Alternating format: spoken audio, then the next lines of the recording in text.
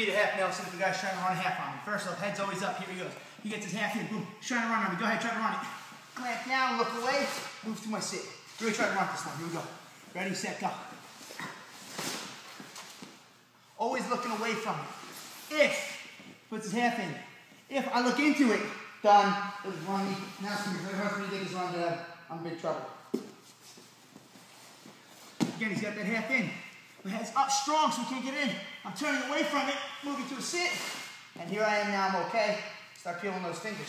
Now, a lot of coaches will teach their guys to reach back and peel that hand off. Um, was a good answer for a while.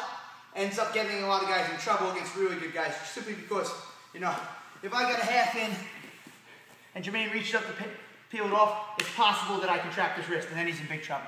Um, not to say it's right or wrong.